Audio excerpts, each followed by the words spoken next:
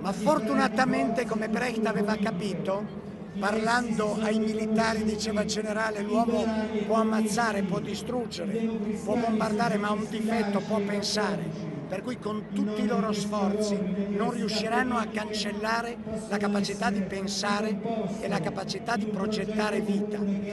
Perché questi giovani aspirano a una cosa che ci è stata tolta dal signor Berlusconi e dalla sua corte, la gioia di vivere dico una cosa, perché si evitano ambiguità ed equivoci, Silvio Berlusconi dovrebbe andare a processo.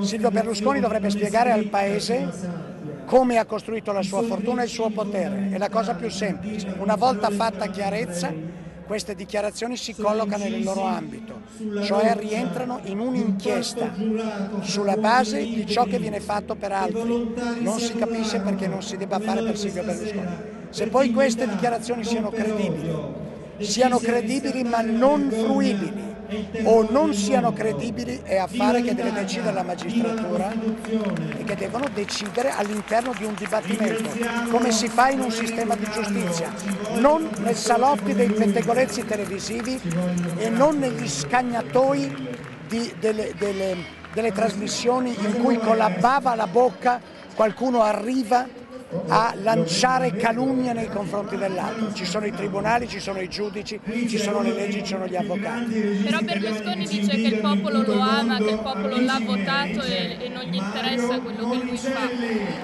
Adolf Hitler avrebbe potuto dire la stessa identica cosa quando fu eletto a maggioranza.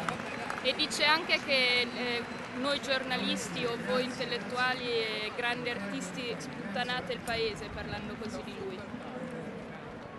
Io credo che il più grande anti-italiano della storia repubblicana si chiami Silvio Berlusconi. Noi stiamo cercando di ridare al nostro paese perché noi lo amiamo, lui lo vuole usare per poi venderlo ai suoi soldati.